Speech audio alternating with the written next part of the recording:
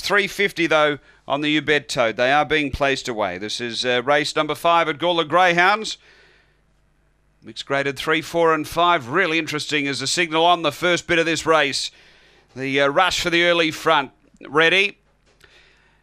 And away, Elsino steps well. Brescia Bale moving forward. So's My Girl Sambia. They move up. My Girl Sambia headed to Elsino, who boots up to hold the rail in the lead again. Four away is Magic Train. Uh, then came Brescia Bale. Next, Dinah Norfolk. Rabora Olga. Uh, then Gibbaloni and Cameroon. They're on the bend, though. Elsino's got away. Uh, clear from My Girl Sambia. And Elsino too strong. Second, I reckon it might be Dinah Norfolk, but My Girl Sambia's right there with it in a photo. Then Brescia. Bale from Magic Train, uh, Rabora Olga, Gibbaloni and Cameroon, 22 and 91 the run.